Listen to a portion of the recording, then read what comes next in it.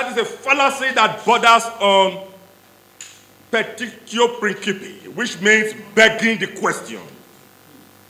APC cannot be orchestrating or occasioning political contrivances aimed at postponing the election.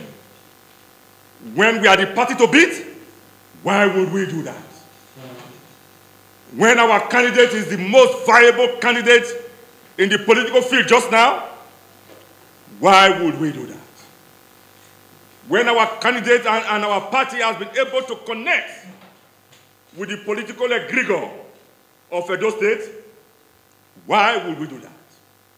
If there's any political party that is afraid to come face to face, to democratically interface with the Edo State citizens, it is the governor and the People's Democratic Party. And that is why